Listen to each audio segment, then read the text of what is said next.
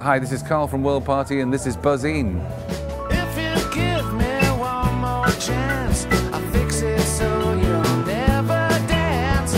I can't. I thought the other week about just trying to wanting to open a kind of record store that was just LPs and having the turntables on the till, you know, like so that you could just sit there with a friend and listen to the headphones. Like, you know, the album was sadly missed, and uh, you know, with this diary and CD stuff, it just seemed like a nice way of including a lot of things to just look at and get lost in, you know. So, and apart from that, it, it was like a utility thing as well. You can.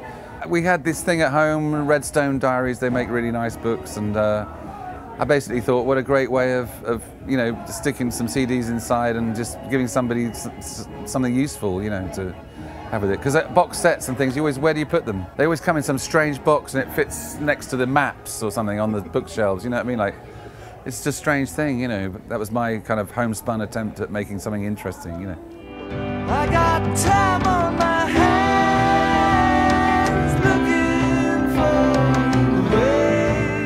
I mean, I've never thought of this as a sort of retro band. I never wanted to have a bouffant hairdo or, you know I mean? I never wanted to backcomb the top of my hair and wear sort of Carnaby Street clothes or whatever. I've always thought of just continuing something, really. So it's never been like a retro thing to me. On this album, there's lots of different kinds of music anyway. It's not really one genre, which has always been our, one of our problems actually. We've never been able to be marketed at any particular target audience, you know, so it's just music really, it's just stuff, what I do in my studio, you know what I mean? I'm just pretty lucky to go and indulge in thinking of something and then going and recording it, you know, and luckily seem to have done a sort of enough of a job to have like, you know, spent my last sort of 30 years or whatever it is, you know, doing this. So um, I just feel sort of lucky really, you know, in a way.